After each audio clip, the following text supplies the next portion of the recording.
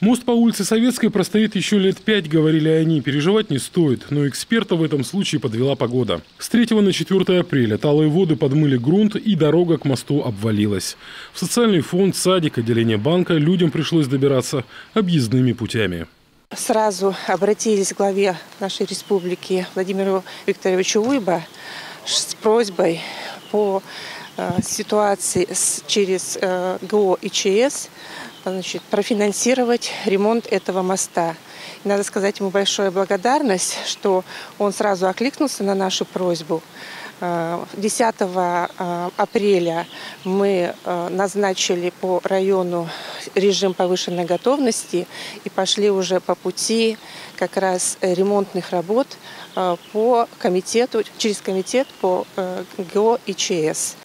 Глава Коми Владимир Уйба распорядился выделить деньги на ремонт из резервного фонда чуть более 5 миллионов рублей. Бригады Коми дорожной компании спустя несколько дней приступили к строительным работам. По обычной процедуре через госзакупки на восстановительные работы ушли бы месяцы. Находился аварийный мост, который в процессе был э, демонтирован, э, был заменен на две э, металлические трубы длиной 15 метров. Была произведена отсыпка насыпи, укрепительные работы – ну, асфальтирование плюс э, барьерное ограждение. Быстро получилось сделать, потому что из оперативности э, быстро подвезли нам материалы необходимые, трубы непосредственно. Ну и коллектив сработал хорошо. Гарантию даете? Гарантия 50 лет. Все сделано качественно, видно, люди работали на совесть, говорит Владимир Уйба. Глава лично проконтролировал результат. Впереди у местных властей еще одна забота – запроектировать берегоукрепительные работы, чтобы впредь подобных историй с мостом на Советской не было. Улица Советская в Кайгородке центральная. Это место, где э, действительно люди очень активно пользуются э, этой улицей. Ну и мост, естественно, крайне был нужен. В комментариях было очень много сложных таких э, обращений. Люди боялись, что это затянется на годы. Э, я посоветовался с нашими специалистами из комидорожной компании, поставил им достаточно жесткий срок к 9 мая, чтобы мост был восстановлен, чтобы люди могли пройти за этим мостом памятник павшим в Великой Отечественной войне. Поэтому действительно было востребовано, чтобы и их празднику именно мост э, был уже э, восстановлен. В Кайгородке Владимир Уйба осмотрел и двухэтажный 11-квартирный дом, который возводят в рамках республиканской адресной программы переселения граждан из аварийного жилищного фонда в 2019-2025 годах. Сюда переселят 19 жителей поселков Зимовка, Сетыдор, Выжью, Усть-Воктым и села Кайгородок. Строительная готовность объекта – 70%.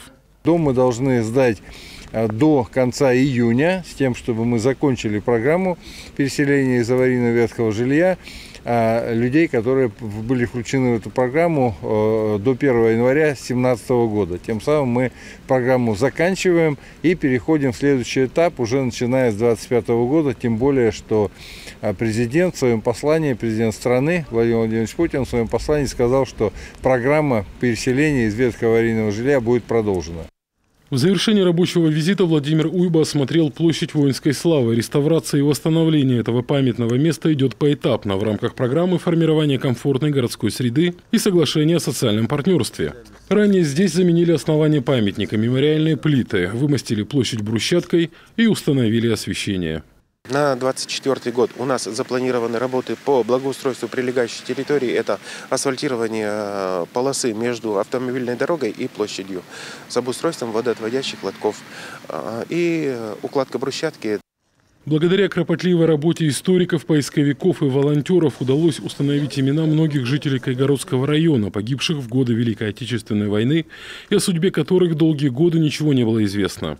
В новом списке 721 фамилия, и работы по увековечиванию памяти будут продолжены. В планах местных властей установить мемориал участникам Первой мировой войны, специальной военной операции, локальных войн и конфликтов. Алексей Корчмар, Соколов, телеканал Юрган.